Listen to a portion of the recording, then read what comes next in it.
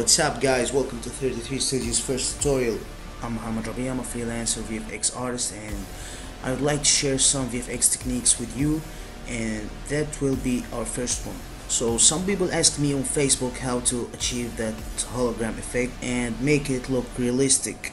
Actually holograms and sci-fi elements are the main reason why I started VFX. I've been watching this stuff in feature films like Iron Man and that inspired me and got me into VFX. So in this process we'll use two powerful software. The first one is Adobe After Effects. It's that great compositing and motion graphics tool and the second one is Maxon Cinema 4D for creating 3D elements. So first of all you need to know how the thing hologram works in real life because when you know the thing as it is in real life that helps you creating it in CG Physically, hologram is a form of visible light. It's glowing, it's colorful, and have some transparent and the degree of glowing or whatever it is you determine or your client or supervisor in work tells you how the final shot will look. So it's nothing that have a specific rule you should follow or you should stick on. It depends on your imagination. The second thing you need to know is the usage of holograms. In VFX, holograms usage is sticked into sci-fi stuff and mainly holograms used in high-tech computers. And that means you'll need to create a user interface with digital elements no matter how will it look, simple or complex or if there will be any type of reaction between the user and the hologram as I mentioned before, you decide this or you do what your supervisor or client tell you. I don't want to talk too much so let's see how to do this. Drag your footage into a new composition and edit the color adjustment from here and go to color settings and set the depth to 16 per channel Y16 so when you're dealing with sci-fi elements or something that has glow like laser that's better for your set. So here's the kid. He's supposed to be looking at a hologram interface here and he's doing some clicks. So let's begin. Uh, the first thing I'd like to create uh, I call it the container that contains all the elements we gonna create so from shape layers make a rounded rectangle and draw here. Sorry. Make sure that you don't select your footage. Here. And change the stroke color to something bluish like this. Go to contents rectangle and rectangle path and push the roundness up something like this and move the anchor point to the middle. To the middle of this rectangle. To make it easier you can use the proportional grid from here. That helps you to know where specific is the center.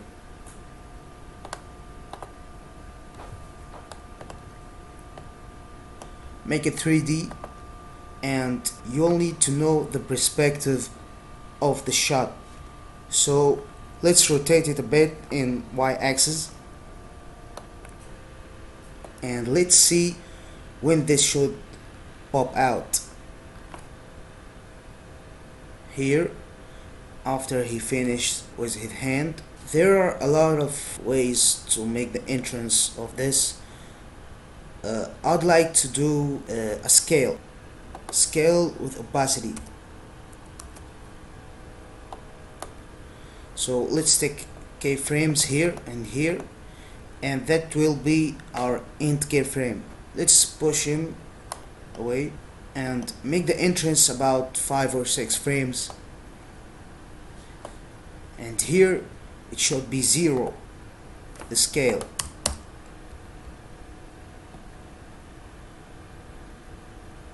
so here it is.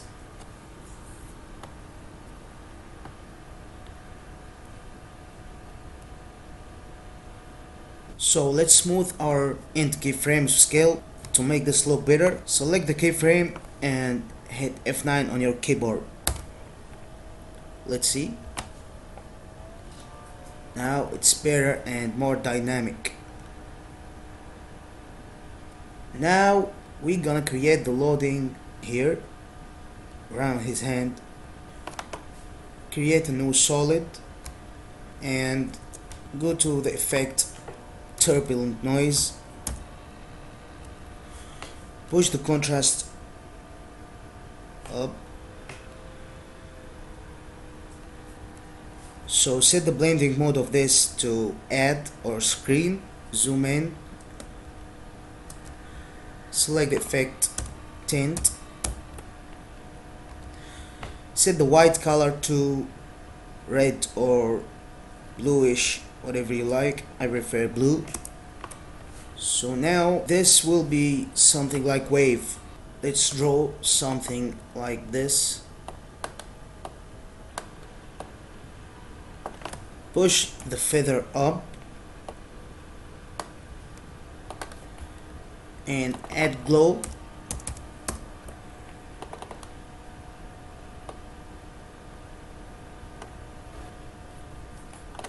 move the anchor point to the middle of it. Now do simple animation from down to up about three frames.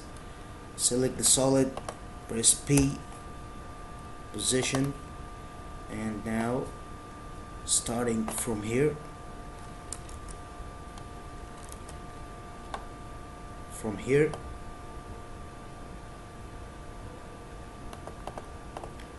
move three or four frames and it should.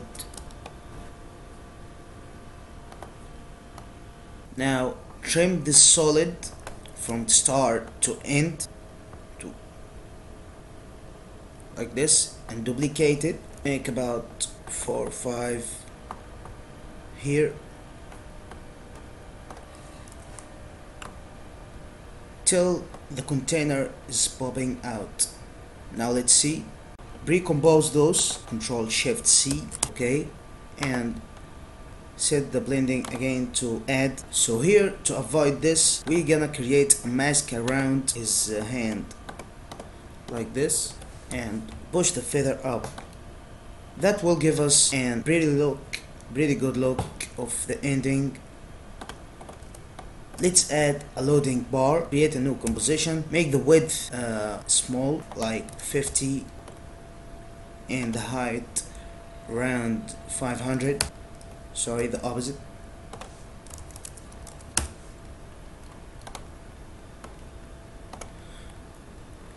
Create a new rectangle like this and grab your pen tool and draw a shape like this hit shift to be straight push the thickness up use the grade to reposition this now it's okay. So we need this to be something like loading from 0 to 100 so go to your shape layer and add a trim path effect. So trim path in trim path you have three options start and end and offset. We're gonna we're gonna use start and end. So let's see that the loading will take around two seconds. So set the composition time to two seconds to 30 I guess. And set the end in the first to zero and by the end of the composition to 100 now you have a loading.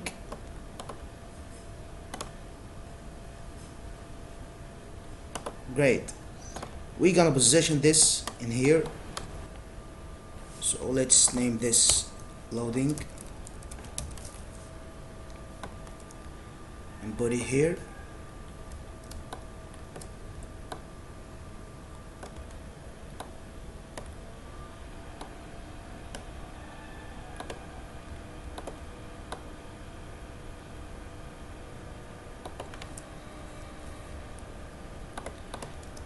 so we're gonna make this bit shorter. So right click right click on it and go to time stretch. More down.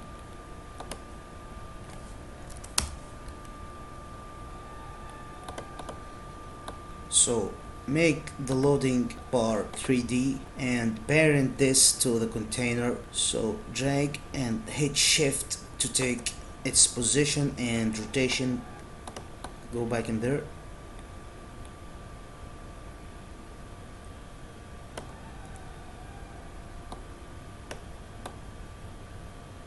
We're gonna give it the same rotation 356 sorry yeah now they have the same rotation. Let's move this in here.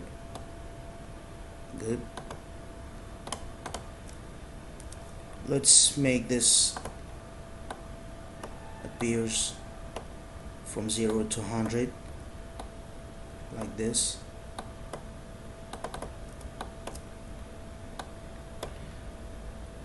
Blending mode to screen add glow.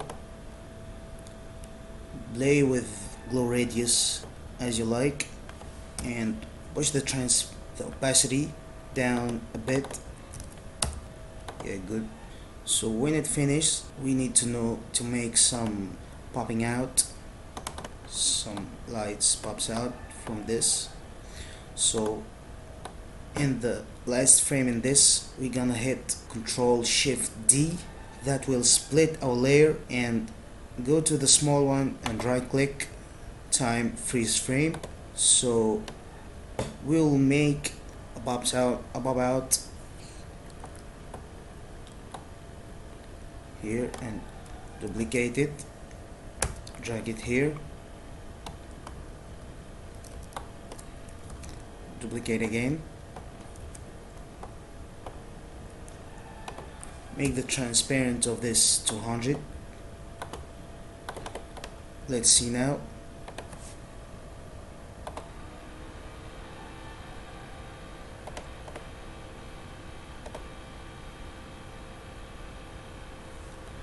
That's great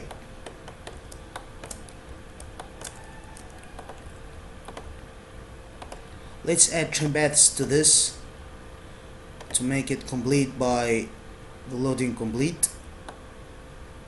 And here go to trim path add trim path set a keyframe in here when the loading completes. And when this starts to appear we're gonna set the end to zero let's see it now. Make this smooth and turn on the motion blur. Make the blending mode to add add some glow. T opacity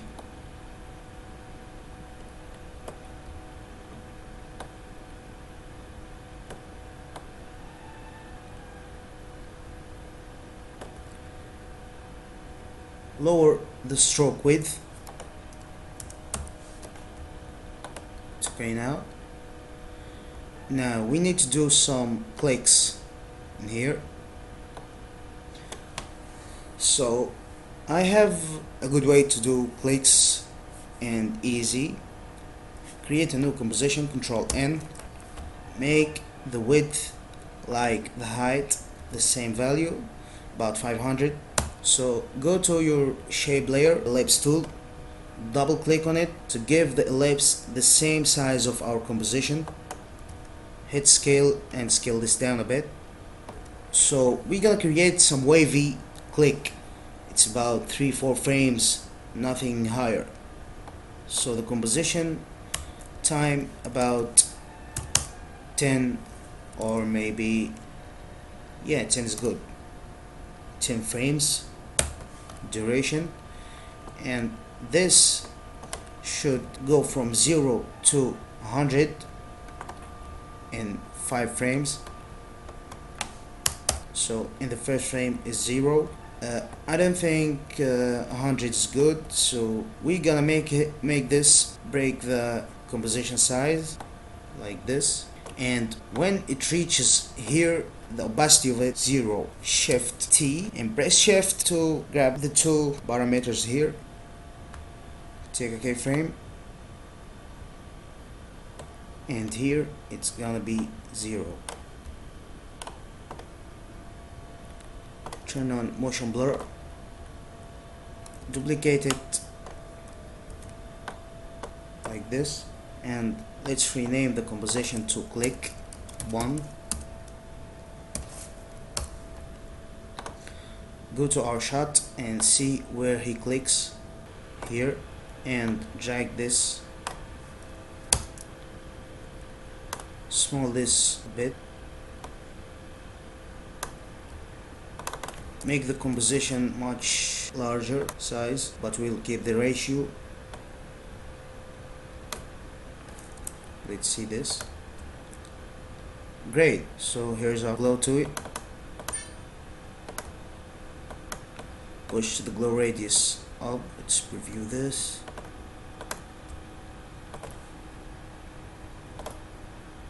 Good. Let's see where he clicks again and add it in here. And another click in here. So each click should opens something or some element. Here I'm thinking about adding some text text box. Draw some shape like this and connect this to the click. And with the trim paths we'll remove this. So here here the click finished. So the trim path should start from here. Add trim path so it starts here. So the end here is zero. Sorry this should be the the start. Move about six from six to ten frames like this and the start should be 0 and the end here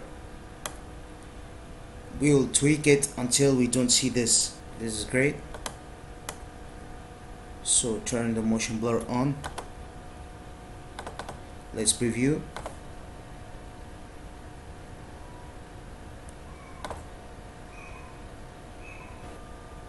You can make your own uh, look of this but I'm giving you a concept. Let's change this color and do what we did add glow. We don't see the red so I think its screen is better lower the stroke width and make it 3D and give it the same value of our container. And instead of this we can make a null object with the rotation information and and automatically parent each element to it. And now we want to make the text here so when it forms text should start writing here. Select your text tool and write random things. Just random letters and numbers. Change the color and make some color variation. Make it 3D and give it the same information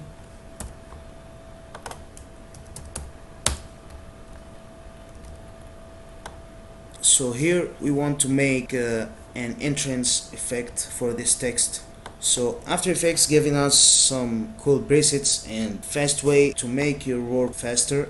Go to animation presets, text, 3D text and here you have bunch of presets you can use. I love the 3D flip and rotate.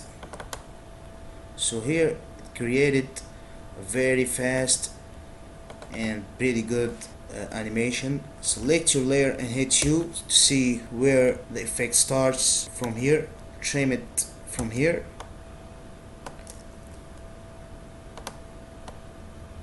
Now we're gonna make some uh, some offset. Character offset. And when the text finishes not from it finish from the beginning. Take a keyframe in the character offset and by the end of this composition push the value up. Let's have a preview. But before we doing the preview we're gonna set the glowing and blending to add glow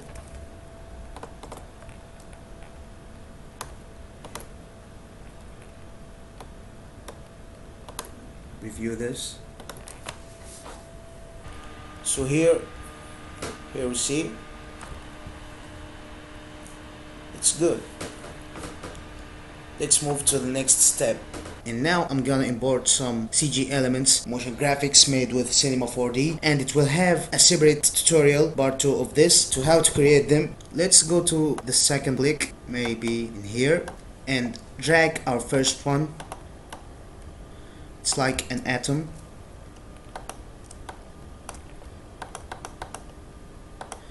Let's make the blending add add some glow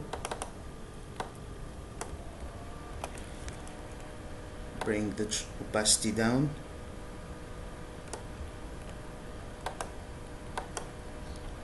And here are a cool trick.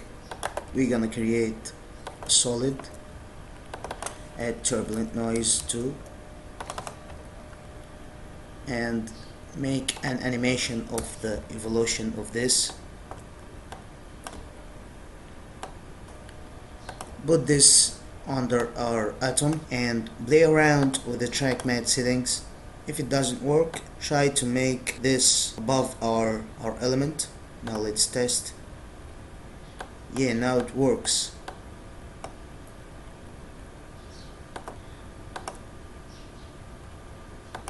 so we can see the turbulent effect. Good tint and put the tint before the glow. And that step is important. Give it a bluish color. Reposition this in here. As we did in the previous step after the click it should be a line going from here to here make sure we didn't select anything. Go to trim path do what we did again. Trim this to here and here. Stretch the keyframe more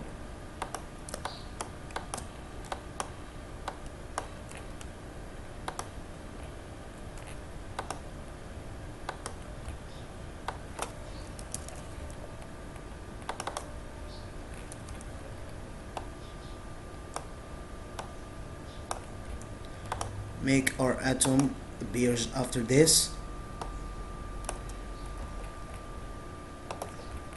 So when this line reaches here the atom should start appearing. Maybe from here.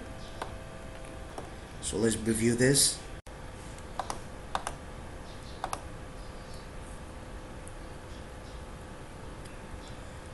okay that's good for now. The last thing I want to talk about in this tutorial is to make some good look spinning lips create a new composition. Good to be square maybe 10,000 1000 by 1000 create an ellipse scale it down bring the stroke up go to its contents and the stroke you're gonna something you're gonna find something called dash. So every click and we'll split our ellipse into small parts smaller parts. When you push this number up this number in the dash you have two options a dash and the gap. Here a dash and here a gap. By pushing this up it makes the dash and the gap bigger and small this down will make them smaller. So let's make this big and duplicate this layer and smaller the dash and scale this up a bit tweak these settings again until we get an acceptable look maybe like this. Scale this up again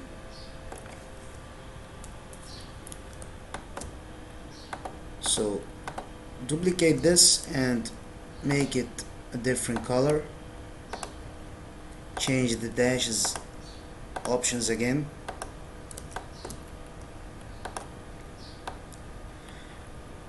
As you like it's up to you. Now we're gonna make some rotation for this. Make the duration of the composition about three three seconds. Make a variation of values. Turn the motion blur on. So here we are. Also you can play around with scale and uh, opacity. So select them all and hit scale. Make a variation of the scale also let them all start from zero and make them appear one by one.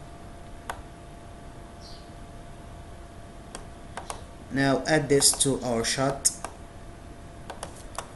Let's name this spinning.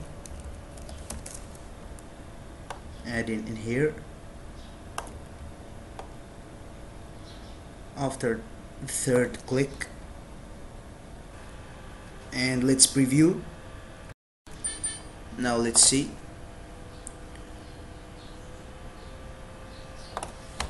Here we're gonna add some another CG element from Cinema 4D I'll make what I made in the fir in the first one. Add some glow. And here I like to make some light gradient ramp gradient so let's make them a mixture of blue in red like this here. And start by flashing control shift and make an empty frame between them like this. Control shift D again until it's stable see how this look. So I'm adding these elements in the description until I make the second tutorial. Now we something to make to make our shot look better. So we can uh, here is a trick. You can add solid and add effect called grid to it. Make this in 3D add some mask push the feather up and the expansion down or up sorry.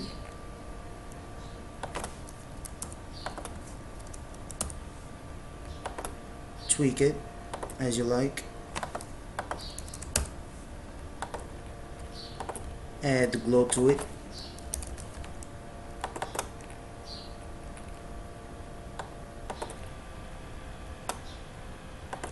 sorry I forgot something. You can't add mask to this layer as it is. You should recompose it first. Sorry about that. Control shift C to recompose this. Move all attributes. And now we can draw the mask correctly. Now it's good make this beer when everything appears.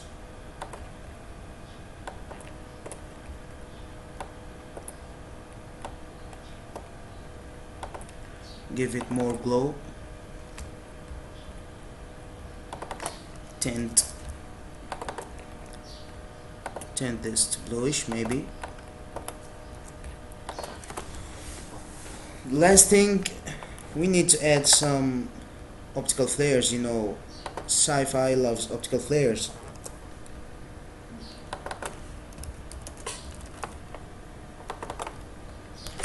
And here let's see a good one or you can customize your own. Maybe this I love this. Blending mode to add. And push this away from your position like this we need our slides only. So also make make it appear here. So keyframe the brightness press U go backward some frames and set the brightness to zero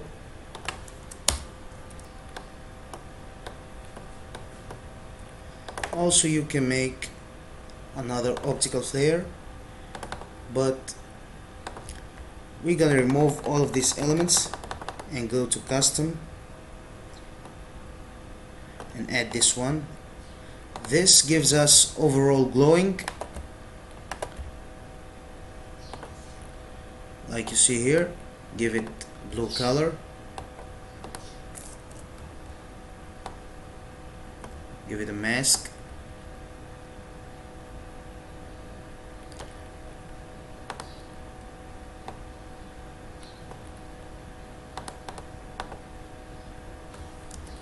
feather this up. Excellent. Give the same brightness settings but make this a bit earlier.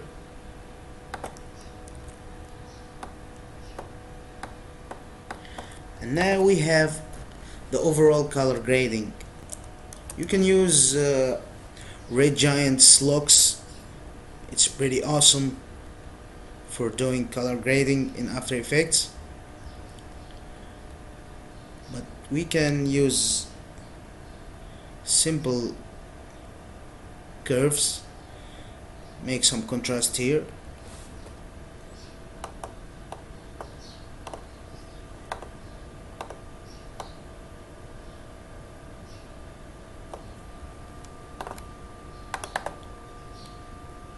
creative in it?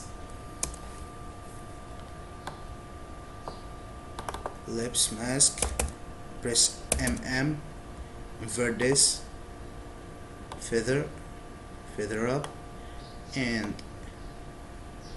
expansion up like you see. Also with all clicks you can add an opt a small flare here but now we're good till I make the second part of this tutorial. So let's see how the final result looks. Now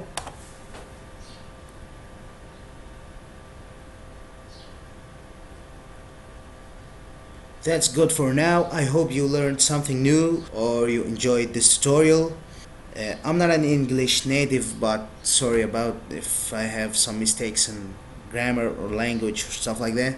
I hope you enjoyed this and keep updated. Follow our Facebook page, subscribe to our YouTube channel, and thanks for my friend Dina James for providing me with this footage. It's shot from our new collaboration short called Boys Boys versus Bots. We're in the post production right now, and thank you.